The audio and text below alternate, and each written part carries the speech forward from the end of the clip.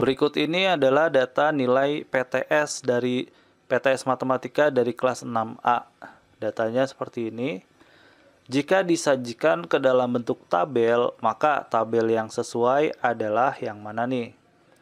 Pertama, dari angka yang paling kecil dulu, angka 6.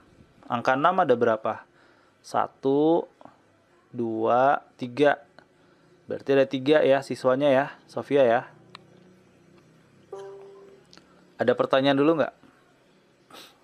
Enggak. Yang kedua adalah nilai berapa? 7. 7 ada berapa? 1, 2, 3, 4. Ada 4. Ini berarti salah, ini salah, ini 4 ya. Paham nggak? Paham? Selanjutnya eh, 8. 8 ada berapa? 1, 2, 3, 4, 5, 6. Ada 6. Ada 6, ada 6, ada 5. Ini salah.